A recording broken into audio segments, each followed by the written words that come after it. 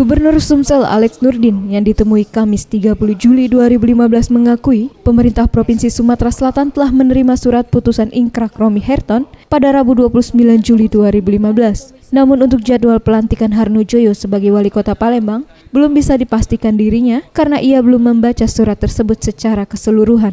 Ia menambahkan, untuk pemilihan wakil wali kota Palembang sendiri, ia masih menunggu keputusan Mendagri apakah wakil wali kota dapat dipilih melalui parpol pengusung DPRD Palembang atau ditunjuk langsung oleh Mendagri.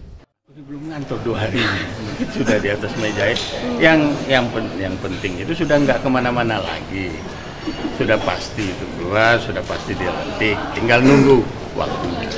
Kenapa mesti buru-buru? Farel Dusatria, Septiawan Rizky, Sriwijaya TV.